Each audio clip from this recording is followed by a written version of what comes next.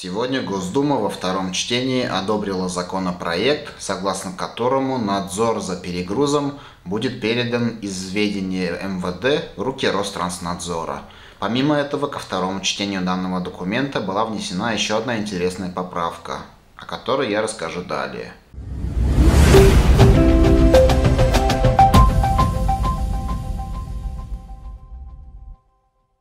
Друзья, всем привет! С вами снова Азат. Это по-прежнему канал Автосправочная.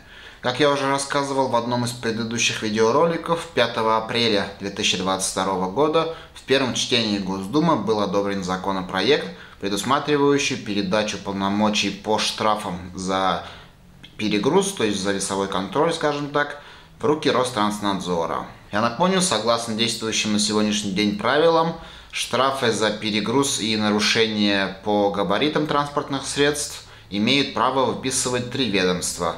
Это МВД в лице госавтоинспекции, таможня в случае международных автомобильных перевозок и, соответственно, сам Ространснадзор. Как было указано в пояснительной записке к данному законопроекту, МВД считает, что эта функция является несвойственной для госавтоинспекции. Поэтому эти полномочия из рук ГИБДД будут переданы, согласно тексту данного законопроекта, в руки Ространснадзора. Причем речь идет также не только о штрафах, которые выписывают живые, скажем так, инспекторы на дороге, но и штрафы, которые фиксируются в автоматическом режиме при помощи камер фото-видеофиксации и при помощи автоматических автоматизированных пунктов весогабаритного контроля. Дело в том, что согласно актуальной стратегии Минтранса в ближайшие годы данные автоматические пункты весогабаритного контроля должны охватить практически все трассы, все автомобильные дороги Российской Федерации. Именно поэтому контроль за перегрузом будет усилен и, соответственно, он будет сконцентрирован в руках Ространснадзора. В случае подписания данных поправок данного законопроекта, данные функции будут переданы в Ространснадзор с 1 января 2023 года. Однако в ходе подготовки данного документа ко второму чтению в него были внесены важные и интересные поправки. Дело в том, что согласно федеральному закону номер 92 от 15 апреля текущего года, с 15 апреля в России упрощены требования к перегрузу, к весогабаритному контролю транспортных средств. Так, если до 15 апреля перегрузом считалось превышение полной массы либо нагрузок по осям назначение от 2 до 10% соответственно, то с 15 апреля вот это значение было упрощено. То есть на сегодняшний день перегрузом считается превышение полной массы либо осевых нагрузок только на значение, превышающее 10%. Соответственно, перегруз до 10% на сегодняшний день в России официально не считается нарушением. Именно поэтому в ходе подготовки нового этого законопроекта ко второму чтению в него была внесена новая статья, согласно которой из статьи 1221.1 КоАП РФ исключается упоминание о штрафах за перегруз до 10%.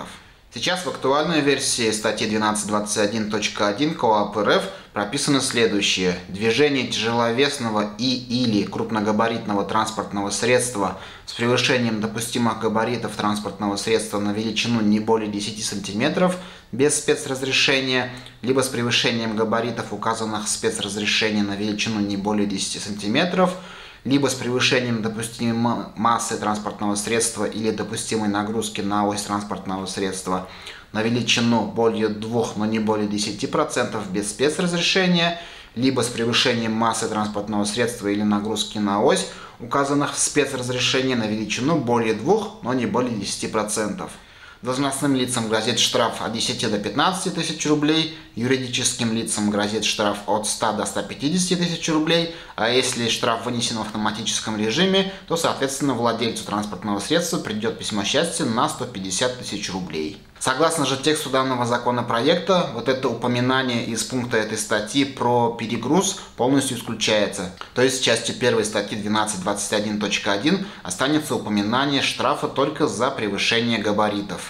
Таким образом, как я уже сказал, с 15 апреля текущего года перегруз до 10% не считается нарушением согласно действующих правил перевозок автомобильным транспортом, а после подписания сегодняшнего законопроекта, когда он вступит в законную силу, то это упоминание про штраф за перегруз до 10% также будет полностью исключено и из действующего текста КОАП. Что примечательно, если, как я уже сказал, передача прав по штрафам Ространснадзор согласно тексту законопроекта вступит в силу с 1 января 2023 года, то вот эта часть новая этого законопроекта, которая касается отмены штрафов за перегруз до 10%, вступит в законную силу со дня официальной публикации подписанного закона. Вот такая вот информация. Таким образом, теперь этот документ, финальной его версии, должны рассмотреть депутаты в третьем чтении Госдумы.